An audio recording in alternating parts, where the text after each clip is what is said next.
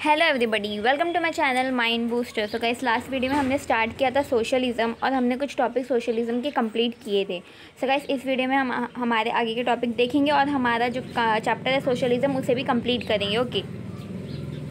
so guys Karl Marx and socialism तो Marx importance in the history of the struggle for socialism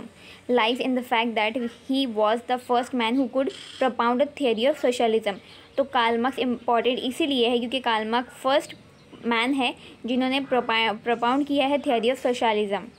which could as noted early rival and stand on an equal footing with the theory of capitalism develop by Ricardo and Adam Smith so Marx did not simply propound theory in the old style but develop a doctrine which unified or at least so he claimed theory with practice such that theory could guide practice and practice could rectify the error in theory so guys कैसे जो दोनों को एक proper uh, बताया है कि जैसे मतलब थेरी प्रोपाउंड मतलब प्रैक्टिस को प्रोपाउंड करेंगी या फिर रेक्टिफाई करेंगी और प्रैक्टिस थियरी को रेक्टिफाई करेंगे, उसके एरर को रेक्टिफाई करेंगे। In short what Marx did was to build up a theory of revolutionary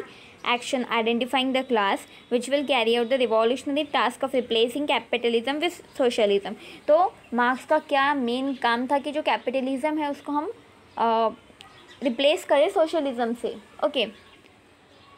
वैसे भी आप सबको पता है कि जो मार्क्स है वो कैपिटलि, कैपिटलिज्म के बहुत ज़्यादा खिलाफ थे।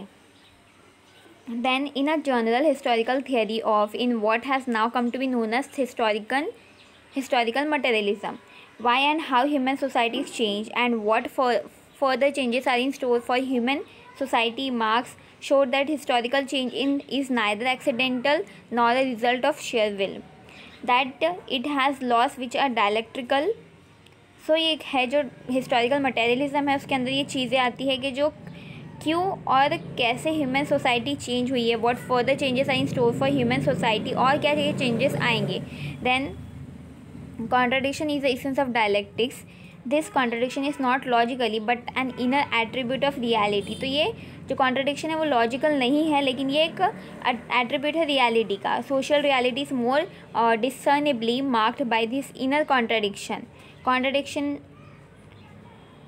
contradistinction to logical let us call contradiction okay in marxian view so this fact of contrary pulls or opposition within a reality impels a moment in reality in other words society changes because of its inner contradictory pulls toward evolving stages तो society में changes कैसे आती है क्योंकि उसके अंदर जो inner contradictory pools होते हैं वो इवॉल्व होते हैं according to different stages like in other earlier stages so in capitalism it is its internal contradiction which propel it towards changes into something else then every mode of production gives rise to two classes in perpetual opposition to each other तो एक production दो classes में rise uh, होता है grow होता है in perpetual opposition to each other one is the ruling or the exploiting class and uh, the other one is the other one is the oppressed and the or the exploited class मतलब एक जो class जो rule करती है exploit करती है और जो दूसरा है, वो नीचे ऑपरेस होती है और खुद को एक्सप्लॉइट होने देती है। The constant conflict and opposition between this two classes to get the better of the other is class struggle तो इसे क्या कहा जाता है? Class struggle Marx remark in the very beginning of Communist Manifesto that the history of all had to existing society is a history of class struggle तो उन्होंने इसे क्या कहा है कि क्लास स्ट्रगल का ही then goes on to remark our Ipoh epoch the epoch of bourgeoisie possesses. However, this distinctive feature, it has simplified the class antagonism. Society as a whole is more and more splitting up into two great hostile camps, into the two great classes directly facing each other, bourgeois and the proletariat. तो ये दोनों class के बारे में marks ने बताया है. One pole of the Marxist struggle of theory is class struggle.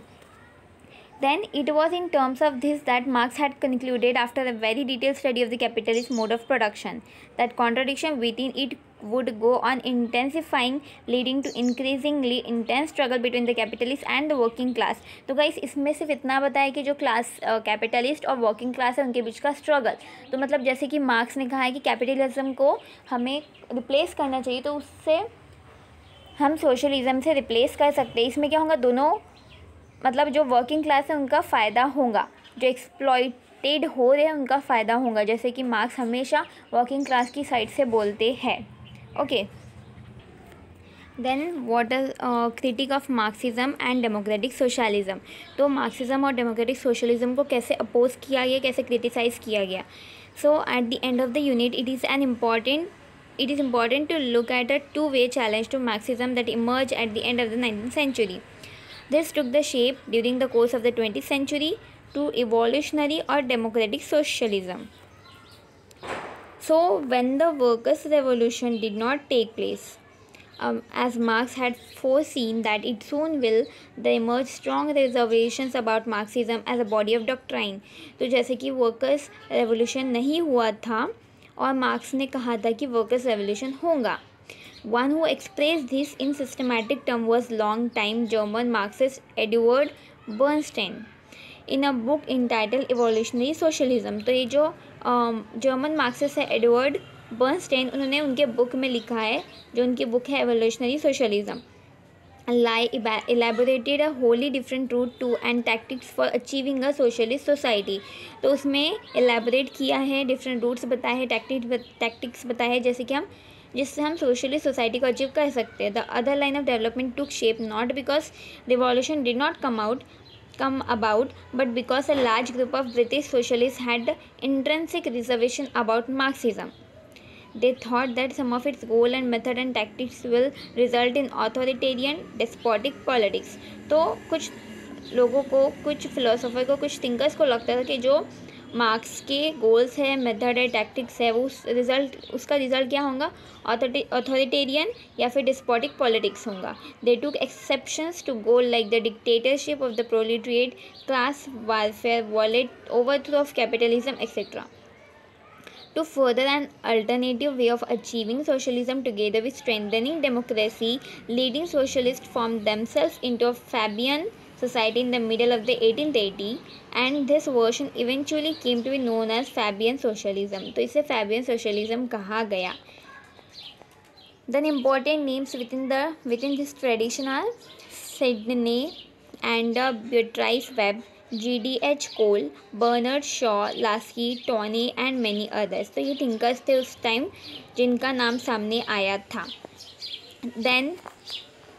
Bernstein argued that the wages of workers are not falling but are relatively rising because the rate of profit is not as Marx argued. तो उन्होंने कहा कि जो wages है worker का, का वो कम नहीं हो रहा है लेकिन जो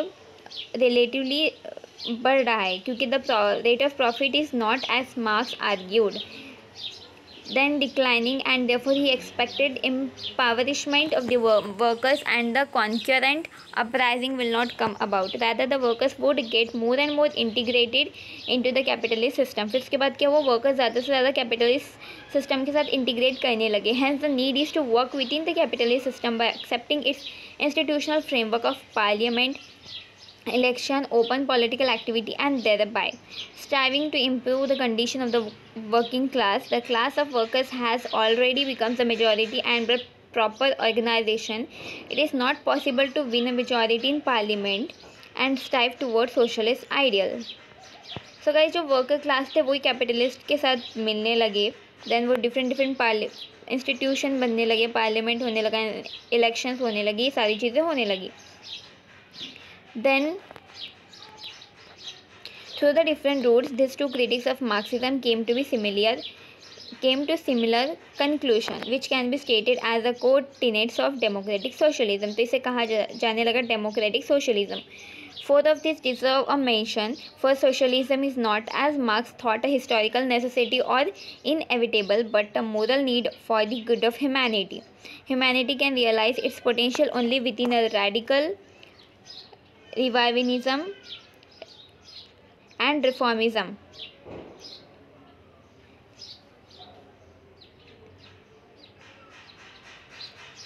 So first socialism, uh, sorry, so first socialism is not a Marx thought, a historical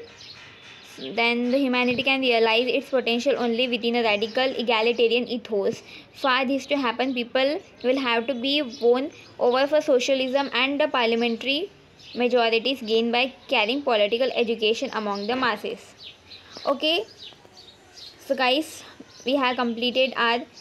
chapter socialism. And uh, if you like the video then please subscribe my channel and also hit the bell icon and share with your friends. So we will see the next video on another chapter. And uh, so see you in the next video. Bye bye